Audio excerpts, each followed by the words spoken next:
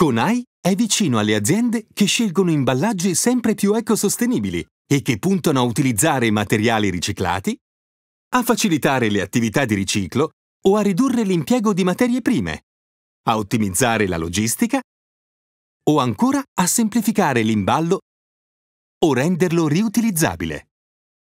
Per loro Conai ha sviluppato un tool che misura gli interventi di prevenzione sugli imballi in termini di emissioni di CO2, utilizzo di energia e di acqua.